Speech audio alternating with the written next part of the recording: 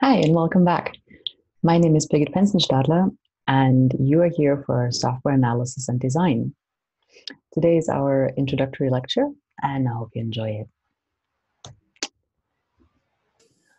So, we're going to talk about who are you and who am I, and we'll talk about the logistics of the course as well as the learning objectives. Let me start with who are you? I like to do a few quick polls at the beginning. So, are you an early bird or are you a late night owl? I tend to be more of the early bird. Are you a coffee drinker or are you a tea drinker? I'm more of a tea drinker. Are you totally invested in software since many years ago and you always knew you wanted to go that route? Or is it something that maybe was a little more recent? Maybe there were just some things that came together that made you decide, yeah, that that could be it. Um, and for me, it's the latter one, and I'll tell you a little bit about that a few slides down. And last, do you already know you definitely want to go into industry or you might want to pursue an academic career, or you might want to work for a nonprofit.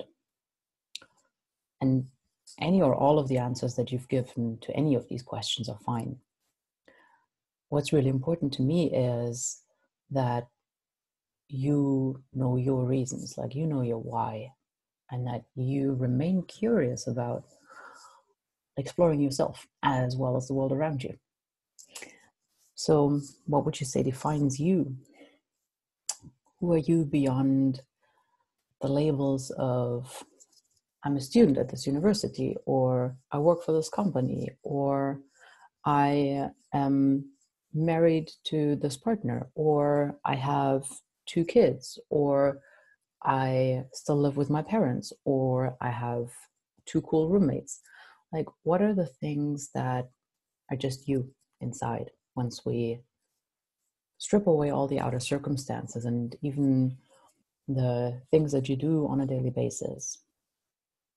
That's something that is worth exploring when we decide which direction we, we go after this. You will find a few times during this course that while we talk about software analysis and design, I will encourage you to also analyze and design yourself a little bit because I think there's a lot of parallels and we can take advantage of that. So, as promised, here's a little bit about me. I was born in this little village.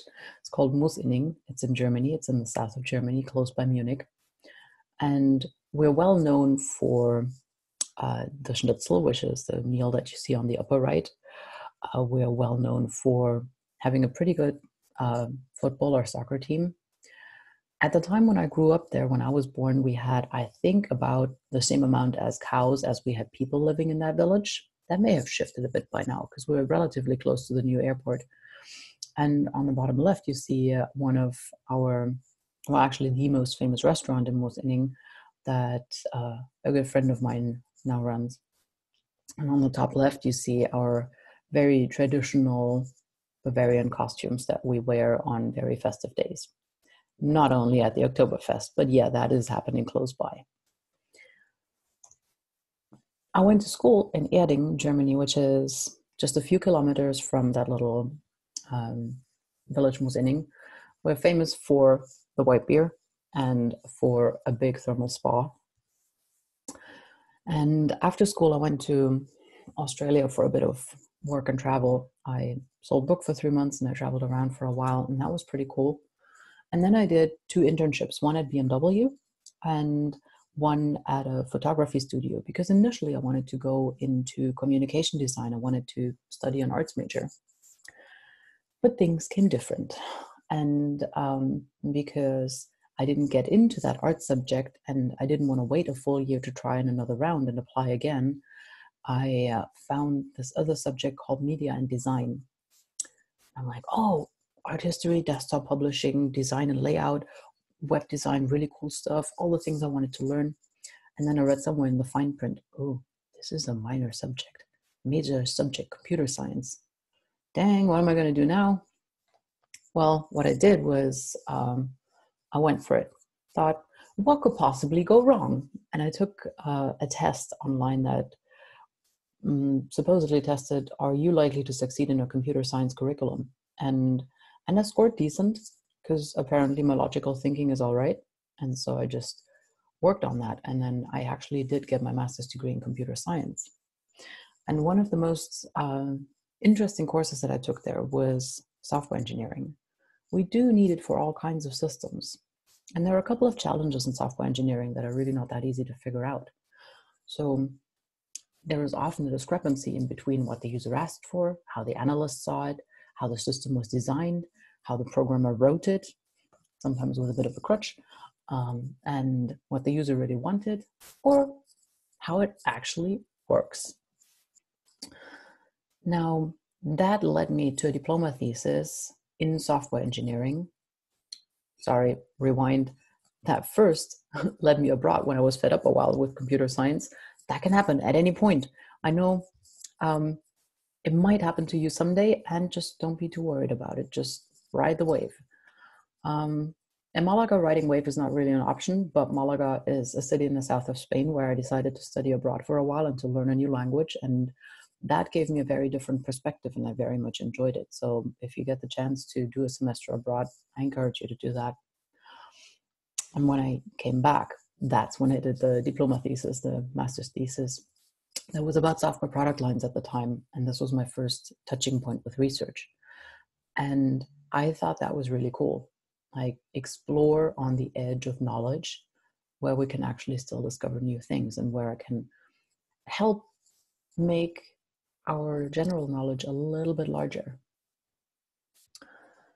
And then towards the end of that diploma thesis, I started looking around for what I wanted to do after. And I had a few cool interviews in industry, but something wasn't right. I figured that I wanted something more. Now, what is that more? I ended up having an interview with um, Professor Manfred Broy. He is um, at the Technical University of Munich. Well, by now he's retired. He was there. And uh, he led a big research group in software engineering. And we got along well. And so I started doing my PhD with him. And um, by the way, you don't always see the Alps in the background of Munich. This is only when there is wind from the south, but that's how it will look like on every postcard. so the dissertation that I then wrote was within the area of requirements engineering. And um, you see, there's a lot of rather formal stuff going on. It's actually not that formal, but being able to express something formally and concise and in a few boxes and arrows that will help um, put a complex story in a small picture that you then can explain bit by bit. Now, because my dissertation work is not re- that relevant for this course, I'm not going to explain it right now in detail. I might do a different video at a different point in time to to tell you about that. But I got through the PhD, and uh, in the meantime, I realized that doing quote unquote just software engineering wasn't going to be enough for me. I was really inspired by my passion for nature. I wanted to preserve nature. I read about the Millennium Goals by Jeffrey Sachs.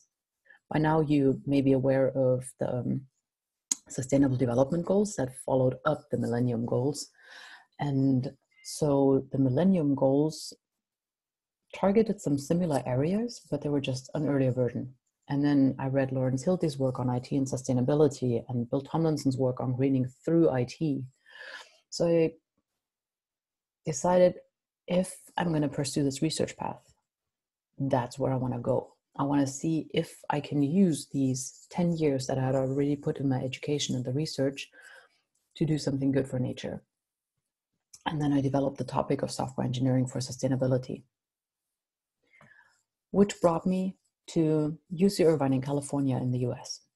And I did a postdoc there with Bill Tomlinson and Deborah Richardson. Bill Tomlinson was the guy who started Greening Through IT, and Deborah Richardson is well known in software engineering. And this is in Southern California, and yep, I did find some snow because I'm a mountain girl and I love being in the mountains in the snow. So on the right side, that's me on Mount Baldy, which is one of the higher peaks or the highest peak in that surrounding area. Spent two years there as a postdoc and then um, published a bunch of things in that area. And towards the end of that, I published Requirements Engineering for Sustainability, which kind of gives you the overview of hey, if we really want to pay attention to how we can support sustainability in the software systems that we develop, then here are some ways on the left in the context, environment, and problem domain of how we can bring it in. And then here on the right in the requirements, system, and solution domain, here's a few ways of how we can make sure that it gets translated adequately. And then I had a couple of guiding questions. For example, does the system have an explicit sustainability purpose? Which impact does it have on the environment? Is there an explicit stakeholder for sustainability? And what are the sustainability goals and constraints for the system? And some of that work I uh, have afterwards continued like to this day. We've developed further tools and a framework to make this a little easier to apply for the average software developer who may not have that much education in sustainability engineering yet. And then I went to Cal State Long Beach. That was my first professor position. I became an assistant professor for software engineering and I led the resilience research lab. And there I taught software engineering, requirements engineering, and ICT for sustainability for five years. And I also did a couple of study abroad courses to volunteer in Nepal, where we made some compressed earth bricks and rebuilt some houses after the earthquake that happened there in 2015. Don't know if you remember. But that um, effort is still going on. So Conscious Impact is the organization that I did it with. And if you're curious, just look at consciousimpact.org. They uh, they are a completely volunteer-run grassroots organization that that does a lot of good work, and I've learned a lot from them as well. Now, towards the end of that, um, I found this beautiful, beautiful university in Sweden that wanted to have me, and here I am. So today uh, at Chalmers and, and Gothenburg University, we come back to software analysis and design. But now you know a little bit more about me and who you're dealing with. And let's turn towards the logistics of this course. We'll look into learning objectives and into the schedule, the examination, um, readings, rules um, and agreements between you and me. Let's see the learning objectives of this course. So um, we differentiate in between knowledge and understanding, skills and abilities, and judgment and approach. And in the knowledge and understanding, you will be able at the end of this course to explain guidelines and heuristics for performing a domain analysis, and you'll be able to explain how to represent a software system using UML models. In terms of skills and abilities, you will be able to analyze and design software systems using object-oriented techniques, and you will be able to create an UML model that is an abstract representation of the source code. You will also be able to use tools for domain and requirements analysis, modeling, program visualization, and object-oriented program design. And then last but not least, you will be able to analyze how software design principles and patterns impact software quality and you'll be able to reflect on and resolve inconsistencies between various models used as part of a single systems design. So this also gives you a bit of an idea already of how we're going to work in this course. Because if it was only knowledge goals, then I could just keep throwing a bunch of lectures at you and um, expect you to digest that and then be able to repeat that back to me. I want to do more though. I want you to be able to do all these things to analyze, to create, to use the tools. And I also want you to be able to judge how good a specific solution is and to reflect on when one design decision makes more sense than another one. And as you see in the software development lifecycle on the left, we are fairly early in the process. So we're right after the planning stage. We uh, um, definitely overlap with requirements engineering. There is like an, an early phase of requirements engineering where there's still quite a bit of planning being done, and there is a later phase that includes a lot of the analysis of the early analysis, and this is right where we get started. And maybe you already know about the Twin Peaks model that says, you know, actually there are the requirements here and um, there's a design right here, and we keep circling back and forth in between the two because we can only talk about detailed level requirements once we have made some high level architecture design decisions. So we'll come back to that weaving part a few times in this course, but don't worry about it. Like we'll get all of this done. I'm just saying it's not sequential. We sometimes make it look sequential because that's easier to explain. Instead, it is a continuous process with many feedback loops. Now for the outline, I want you to take a look in Canvas and we can take a look together there.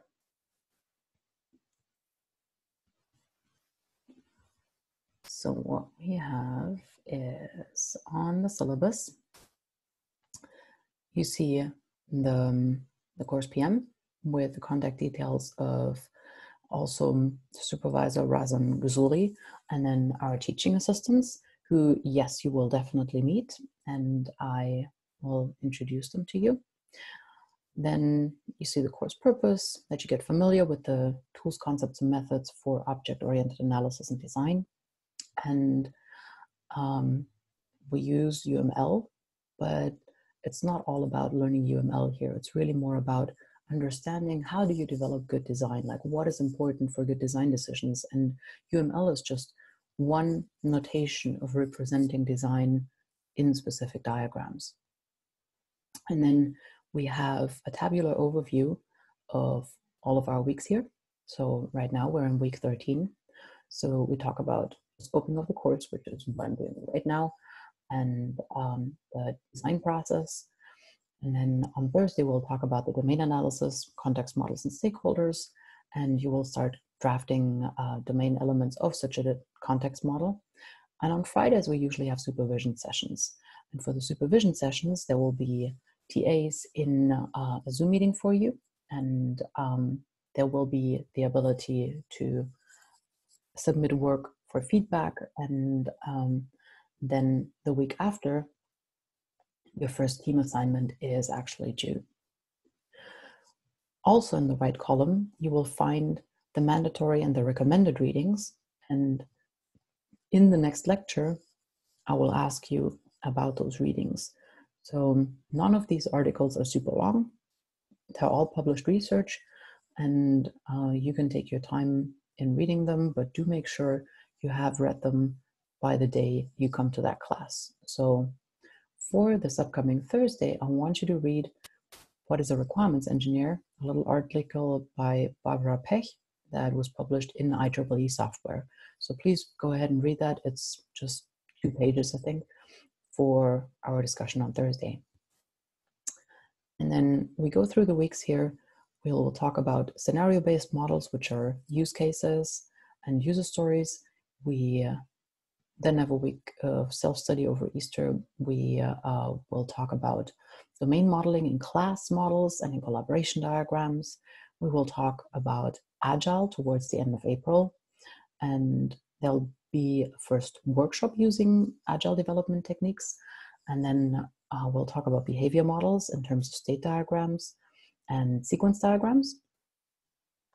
There will be uh, a module on design patterns and design guidelines, and then further activity diagrams and component diagrams. And I really care about this one the long term impacts of software systems, because I want you as software developers later on to take responsibility for the long term impact that your software systems have.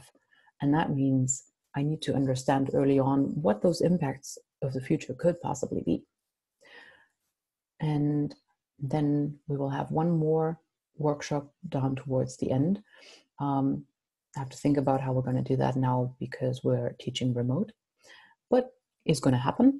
And uh, this will potentially be research. And of course, I'm going to ask for your consent for that. And I'm going to have some consent forms uh, uh, where you can decide whether you allow me to, to use the data um, for this or not. And then we'll do a final exam revision because I want you to know that you're going to be prepared. You will get some example exams, uh, example exam questions as well. So um, that is something where I definitely want you to know what you're getting into, and you will. The course literature down here lists the required reading as well as the recommended reading. And I already listed YouTube videos down here. This was before. Um, we knew we, we were teaching remotely, so now that's a definitive. And then uh, there is a couple of optional reading suggestions further down here. I do like to work with interactive lectures. Is a tad reduced now because of the format that we need to go to. There will be some exercises and readings. So there are some voluntary exercises if you want to practice a little more, and there are voluntary and mandatory readings. There will be some team assignments, and I may reduce the amount of that because uh, of the given situation. It may be harder for you if you're not used yet at remote working in teams. And so I'm going to make sure that this is not too hard on you. And in supervision sessions, you will have the opportunity to ask specific questions and you get feedback on drafts of your assignments. This is also while the assignments, uh, why the assignments will be published quite a bit ahead of time. And then we have a couple of workshops that will allow us to dive deeper into a given, given topic. And um, some of that will go towards research. And when it does, I will make that very specific and I will ask you for your consent on specific parts of it, and then you can choose how much you want to participate in that. Feedback, very important stuff, especially as we're teaching remote. Um, I don't see your faces in front of me all the time, and therefore it will be super useful for me if I can get feedback on you uh, from you how this is going, what works well for you, and what does not. And I will definitely ask um, in two or three weeks like how it's going so far and what your impressions are and ask you for some some written answers in that. And then down here are the learning objectives and i broke down how exactly the individual assignment will contribute to that. And then finally there are some uh, standard information about the exams. And the written hall exam we will have to change because of current circumstances. Um, changes made since the last occasion or you got a new instructor. That's basically the main change. And um, with that, I um, want to go back to the slides.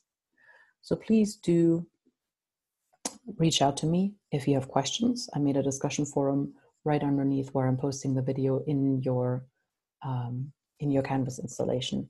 And if you're watching this on YouTube at a later point, then you can just ignore this little part. And I'm always grateful for your comments and your feedback, nevertheless. The examination, there will be a written exam. Um, it will be a take home exam, and um, there will be the assignments. And all of that is pretty much standard as um, it was in, in the course previously. So don't worry too much about it. The exam is valid a little more than the assignments because um, that is your your individual contribution. And um, we will prepare for everything in detail and in time.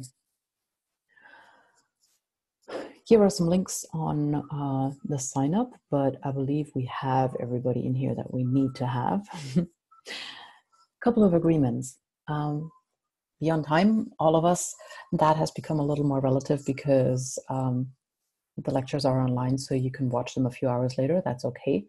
I would ask you to watch them on the same day if possible, just so we can stay a little synchronized, also with asking the questions in the course and also with doing the assignments. Where focus goes, energy flows. So while you're watching the lectures, don't try to do, do things at a time. Like if you go to reading and responding to your email while listening to the lecture, guess what? It's going to go in here and it's going to leave there, and not much is going to stick in between. Um, that said, the lectures will probably be a little shorter than 45 minutes at a time because that's really asking for a lot um, sitting in front of a screen by yourself and not being able to talk back to me. I get that. so, for the time that you do spend with me, just decide to get the maximum out of it. And the more focused you are during the lectures, when I speak to you here, the less time you will need in your assignments. Um, if there is any trouble or miscommunication, let's talk about it right away. Like the sooner I know something doesn't work, the sooner we can change it. And that includes when team members or or I um, don't do what we said for whatever reason that may be. We need to talk about it. Um, when there are difficulties with assignments, whether it has not been understood well, or whether it's a people problem, we're all humans. Like all of us have stuff going on at the same time, and we all need to deal with life. Or whether it's content that you need more explanation on a specific subtopic. Um, and it also includes behavior that is perceived as, as rude or discriminatory. We, like I said, we all go through different struggles in our lives and we all do the best we can. I firmly believe in that. And so when when you deal with your team members or when you leave comments, you know, we all just will try to do that in an appropriate manner and be um, be cautious with each other. if we were in a physical classroom right now, I'd ask you to raise your hands and confirm this or to sign a piece of paper. Because we're doing this online, I'm still asking for you to agree to these things. A couple of things about expectation management beyond those agreements. So, one of the hmm, maybe difficulties with this course is it involves designing. And if you think about your favorite coffee mugs and the favorite coffee or tea mugs of your friends, they look different, right? Um, you may have different favorite markers. They're all designed though. They all maybe even good design. They all hold a lot hot liquid to drink inside. And that it's kind of the same thing for your assignments. So there are many correct answers for the same assignment. There is not one perfect answer or one single correct answer. And unfortunately, our educational system sometimes kind of drills it out of us. If you want to hear more of that, watch the TED Talk by Sir Edward on education and creativity. Really worth it. Go for it. And he explains really well how our standard school system has the tendency to get rid of our creativity by teaching us this is how something is done, this is the correct way, this is how you do it. And then you come to university, and some courses are still like that because, for example, in math, there is one correct way to do it, period. And then there are other courses where you start designing things, and all of a sudden you get an assignment back with, yeah, this is already pretty good. Um, maybe think about this one quality criterion and and you're kind of not satisfied because you don't have an exact solution to compare with well where was i off because even if i give you a different example solution it would just be one possible example solution. It would not be the one correct solution. So there is no unique recipe for for solving the perfect assignment. You can be creative and you will be learning by doing. And part of it is to just try out different designs and then reflect on why is one design of those better than the other ones? Or which design of those could be a better one? Or what are the constraints or downsides of one particular design compared to another one and all of design requires a good understanding of the problem domain so domain analysis is a significant part of the course and when we talk about use cases again i know that there's the one thing that you probably did before in requirements engineering, it is still important to do that from an analysis point of view. So we're just changing perspective now. And it makes sense to do a little repeater on that. Now, I'm really curious to hear what your expectations are. And you have a bunch of options to leave uh, your feedback for that. Like for now, just like take a little piece of paper. Um, let me know your three expectations of this course and then you can post it on Canvas or you can post it here on YouTube. And um, I want to know what you want to get out of this course. And if you know what you want to get out of this course, you will be more motivated and you will know at the end of the course, you will be able to look at, oh, what did I want to get out of this course? Huh, do I feel like I really got it out of this course? Like, am I satisfied with my learning progress in this course?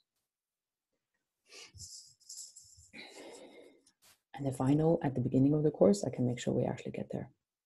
Or I can tell you, look, that specific thing that you are wanting to get out of the course is actually not part of the course, so I'm not sure we can do that. So take the moment now and write these three, three things down. What are three things that you want to get out of this course? Software analysis and design.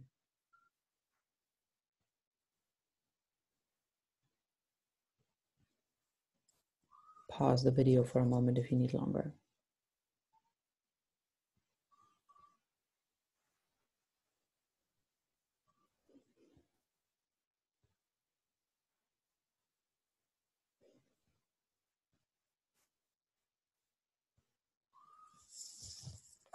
Good. Last little few comments. Um, just about a view on education. So um, there was this quote from Richard Riley, Secretary of Education under President Clinton in the US, and he said, Education needs to prepare students for jobs that don't yet exist using technologies that haven't been invented in order to solve problems we don't even know that are problems yet. All right, now throw that at a university and be like, all right, here, prepare your students for jobs that don't exist using technologies that we haven't invented, um, solving problems we don't know are problems yet. So, what what are examples for such new jobs? Right now, there might be a bunch of agile coaches out there that are trying to coach people in how to do agile development. We don't know yet what the next development paradigm is going to be. So there will be some kind of XYZ coach uh, GDPR has been a big topic over those past few years. Security is becoming bigger and bigger, so there will be a lot in the area of compliance to those characteristics.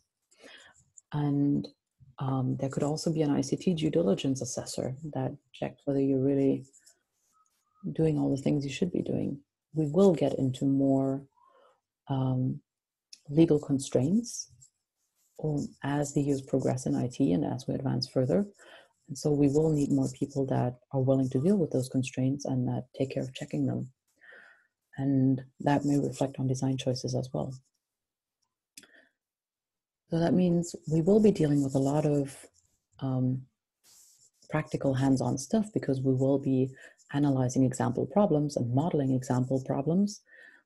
Mm, and all these examples are used as a means to increase your skills in thinking, in analyzing, in reasoning, in generalizing, in classifying. Like I said, it's not about you learning how to um, draw a proper UML diagram. Yes, we will do that. And there is so much more. I don't only want you to be able to draw a UML diagram, I want you to be able to look at somebody else's UML diagrams and understand if the design choices they made are good for the system that we analyzed and how that design could possibly be improved and what the trade-offs of the design are, what the drawbacks are, and what the advantages are. What patterns might help you solve the design problem better.